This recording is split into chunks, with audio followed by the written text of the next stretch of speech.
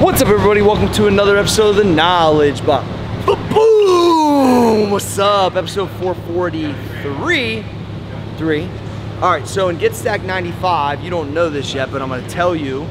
I'm gonna do these low to no rest supersets. Okay? Now everyone, most y'all know what a superset is, which is you take two exercises.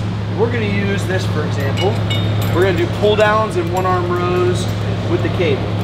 So let's say we're gonna go 20 and 20. So I'll go pull down for 20 reps,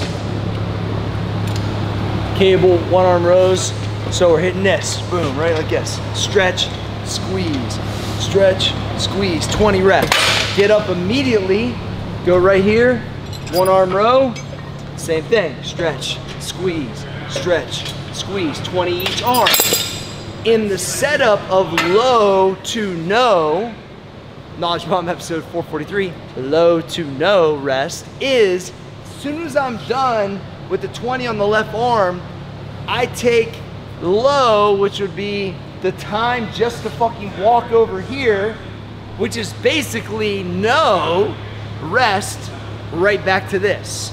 And you'll do that three sets continuous, then take two minutes of rest. So 20, 20, 20. The only rest you get is the time to walk from fucking right here to right here.